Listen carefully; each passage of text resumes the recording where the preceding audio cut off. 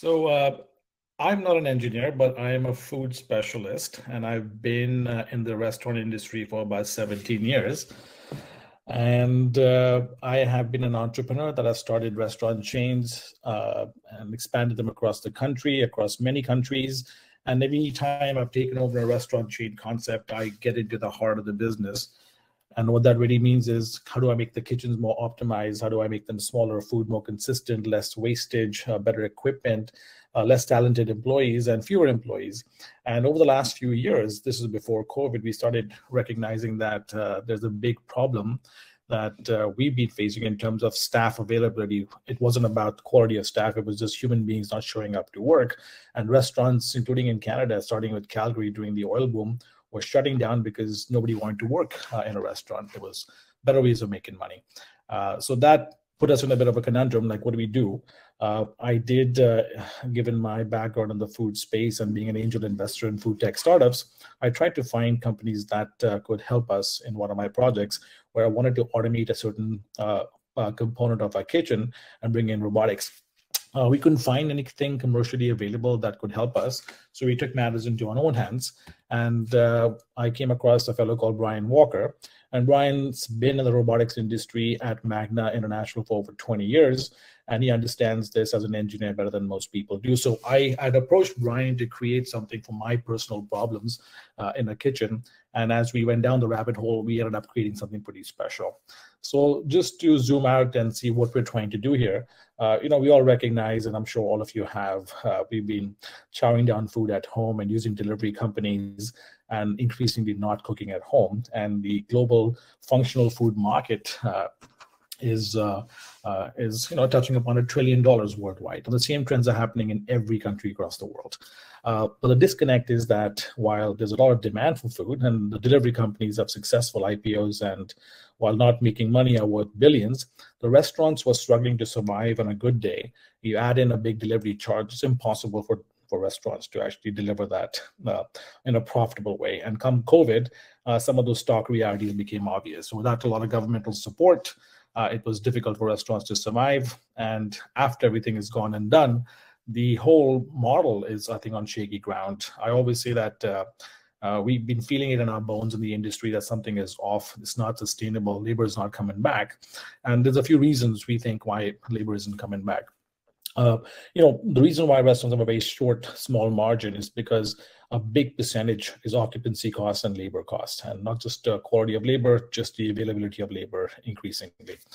And we've been seeing this in a pretty dangerous way. So, like I said, we can feel it in our bones. This is not sustainable, and there's a very clear answer for that. Uh, you know, back in the day, uh, the, the, employees in a typical fast food restaurant were the young kids. All those kids are starting Facebook now in their parents' basement, or there were people on a certain socioeconomic ladder. Uh, they didn't have a choice, so they go work in a fast food restaurant. Uh, those people have better choices now. They can be driving Uber cars, delivering Amazon, working in an Amazon warehouse.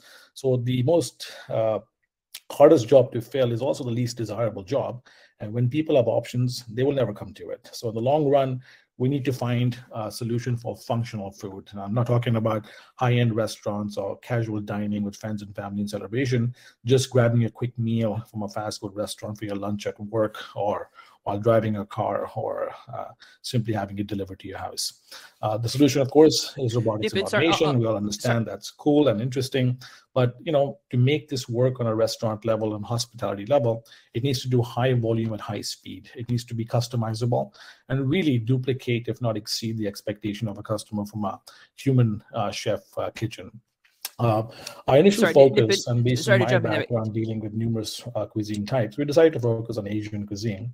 A couple of reasons for that. Number one was uh, uh, before Uber Eats came into our lives, I think most of us, the only thing we got, ever got delivered at home was Chinese food and pizza. And the reason was because these foods are actually affordable and they're optimized in terms of food cost for delivery. Uh, and secondly, they hold really well. So if it takes half an hour, 45 minutes to get your food, you know, it's still in a pretty good state, unlike, you know, for example, deep fried food. So we said, okay, this is kind of good. The other interesting thing is the whole uh, premise of how a wok operates. A traditional wok, I think, is one of the most versatile pieces of uh, cooking equipment ever invented. And at 400 degrees carbon fiber, when you toss food, it kind of bathes in its own vapors and then hits the carbon steel at 400 degrees, lightly caramelizes, and makes your meat to order meal in seconds, not minutes. And then the wok right there and then can be cleaned with high pressure water and get ready for the next cooking cycle. So we took all the elements of wok cooking and created what we called RoWok, a robotic wok kitchen. Uh, to quickly make you understand how the process is broken down, there's basically three critical, critical components. Uh, the top one is the refrigerated part of uh, RoWok. This is where all the produce, all uh, the, the protein, the chicken, the shrimp, whatever you want, is stored there. So it's, it's properly calibrated and dispenses the right amount of material that every recipe calls for. Uh, once a recipe is programmed and people customize the dishes, the correct volume of ingredients falls in and goes into the second area, the collector area. This is where food gets manipulated. It goes through a steam tunnel to bring it uh, to uh, a high heat temperature, and eventually it gets dropped into a robotic wok system where it cooks pretty much in a similar uh, uh premise as a, as a regular wok, where it spins and rotates, deposits the food into a bowl, gets into a cleaning cycle and gets back into the cooking cycle. So our equipment actually has six uh, robotic woks working concurrently that allows us to really have a high throughput. So in the end, this is kind of a quick description of how the internal uh, mechanism works in a graphical way. This I think is easier for me to explain. Of course, the shop drawings, engineering drawings are a bit different than this. And we haven't shown that to too many people besides our investors because we haven't finished filing all the patents. But this diagrammatic representation tells you exactly what's going on on the inside. On the inside, it looks like a pretty smart looking restaurant. Uh, and given the flexibility of the design, and we took inspiration from food trucks and RVs, uh, this can pretty much be placed in any real estate. It's a self-contained unit with its plumbing and HVAC systems designed and allows us to pretty much go anywhere we want for 24-7 service and airports, office towers, gas station, you name it. Uh, we're actually doing an exclusivity, one of the largest airport concessionaires in the US. Uh, so we will be starting out the rollout of this machine um, uh, in, in the US before we do so in Canada. Uh, the restaurant is really optimized for, for artificial intelligence and, and for data science uh, in both inventory management and for marketing purposes. You know, for example, if chicken's running out, uh, expiring, sorry, in, in 24 hours, it'll generate a promotion 50% off your pad thai. Uh, the inventory management is pretty effective with food traceability, so we know exactly what's going on. We know what's selling in certain areas, and we also know what's happening in the environment. So sometimes our sales in a restaurant goes up because there's a concert next door or lots of delivery happening because there's a game on TV. Uh, and sometimes uh, things are not that busy because of holidays, because of construction. And managing your inventory and your data allows you to be pretty effective and, and, and in full control. Nipun, uh, did, did you want to share your slides there? While we, we love see the, uh, robotic and automation engineering, end of the day, we're not in the business of selling robots. Uh, I'm not sure how much of a demand there is, uh, but we're in the business of selling food. So we position ourselves as a restaurant concept. We just happen to be fully automated on the inside. Uh, it's also a pretty cool uh, uh, model for us in terms of monetization. So from our perspective, we're a restaurant brand and we have multiple revenue streams, just like any franchisor would. Uh, from a franchisee perspective, uh, apples to apples, this restaurant would cost about a quarter compared to a traditional quick service restaurant. It would have zero on-site employees, and the job of the operator would be pretty much two hours of maintenance and refilling the ingredient silos. That's how we position ourselves as both uh, a franchise restaurant company selling delicious uh, meat to order food, uh, and a very dignified and fantastic sort of job for a franchisee on the other side with no uh, headaches for employee management. The other thing that's interesting is because, as I previously mentioned, we don't have the occupancy and labor cost of a typical restaurant, we can technically really play a price game to dominate the market. We can sell food lower than the uh, break-even cost of a typical quick service restaurant and make a higher profit margin, giving us a lot of dependency uh, uh, in, in terms of uh, versatility and market share. Uh, end of the day, in a typical restaurant, food cost is 25 to 30%. Everything else is on top.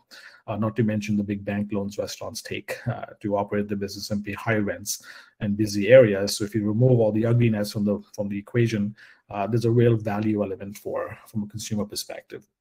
Uh, you know, we we take inspiration in some of the better uh, restaurant brands that have uh, been born in the in the zeitgeist. Uh, Sweetgreen with the message of sustainability, Shake Shack, a modern brand with a good story, expanding worldwide. And we also like a company called Reef. They're not technically a restaurant company, but they repurpose uh, shipping containers and turn them into cloud kitchens, and they can be placed in any parking lot.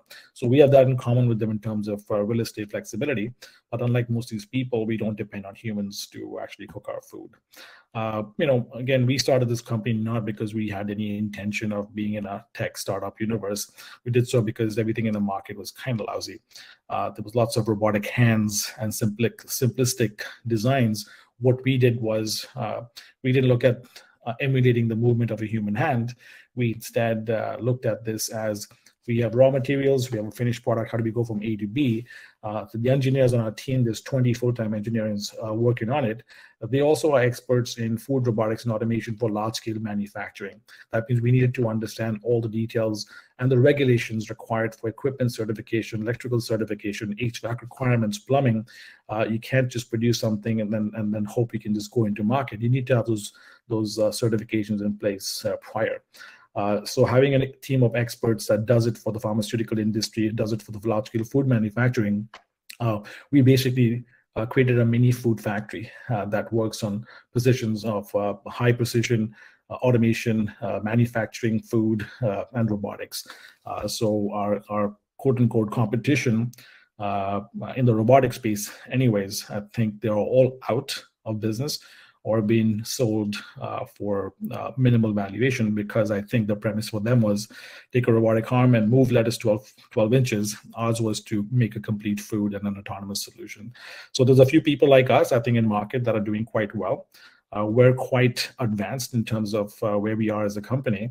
Uh, we are as a company is that our robotic solution is uh, about two weeks from completion, and we have a demo day and on December 7th uh, that will uh, be live. Uh, second round of investors and our partners for expansion will be there, and they'll all get to see the machine in action.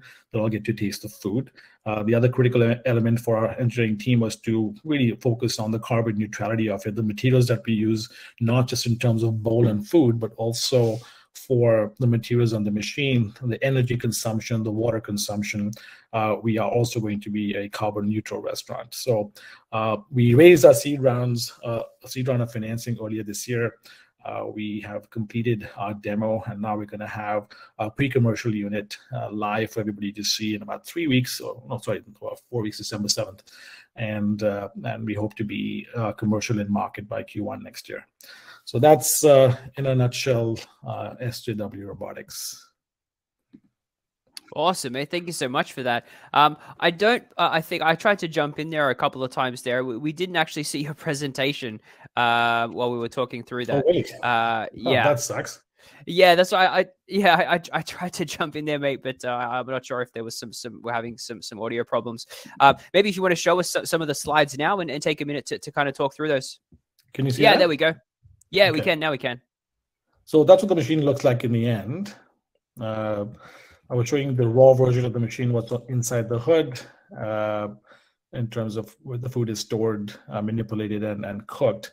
Uh, you know, taking inspiration from Walkways cooking. Uh, I was talking about uh, the urgency in the talent pool available, and you know, creating a solution that is versatile in any real estate and very tech forward. So I think yeah, this is probably the most important one to see. Yeah, yeah, fantastic. But this is what is coming out on December seventh. That's awesome. I, I wish you the, the best of luck, and I think so many places that I could see one of these robots. Uh, and I suppose it's it's a kind of like a. Would you position this as a, as a um, a robot? Is is there some type of uh, verbiage that you would, would prefer to kind of uh, align the product with? I'm sorry. Yeah, you, you mentioned. Uh, I mean, is this how would you kind of uh, what would you call this a, a, food processing robot? What what would kind of be the actual phrase that you use? Well, we call it an autonomous cooking system. Autonomous cooking system. Okay, cool, cool, cool. And S SJW, what what does that stand for exactly? Oh, it's the three founders. It's uh, Sharma, Jutras, and Walker. Okay, cool. Yeah, nice one. Way to go. Uh, fantastic. Excuse me there. Uh, so we've got a question here. Uh, Frank has asked, could you make the system mobile as in a food truck? That's a great question. Oh, very good question. Um, actually, that is the model we we we uh, designed it after. If you look at the food truck, it's uh, pretty uh, a small food truck is a pretty versatile, autonomous, self-contained HVAC plumbing system. So that's what we used in its initial design. And the other interesting thing about this is uh, it can be put on wheels and dragged anywhere. So we could be in a location that is not high traffic and we decide that we want to move it. We don't have to break anything apart. We just push it to the next location. So uh, it's bang on in terms of uh, real estate flexibility. Nice one. Way to go there. Well, look, we'll certainly leave it open if, if we have any other questions from the audience. I was having a look on, on SJW as well um, on uh, on LinkedIn. Said you have uh, 20, 20 people working for you guys. Are you kind of in, in stealth mode at the moment? Uh, yeah, we've been in kind of stealth mode uh, uh, for a while. Uh, we raised our financing. We completed the raise in June, and uh, we're getting ready for a seed round financing next December. We we also have our manufacturing partner that that we commissioned to build the product. They're also investors in the company, and we, besides some of the key investors, we've kept that relationship also confidential, and all that will be released in on December seventh when we go live with the presentation.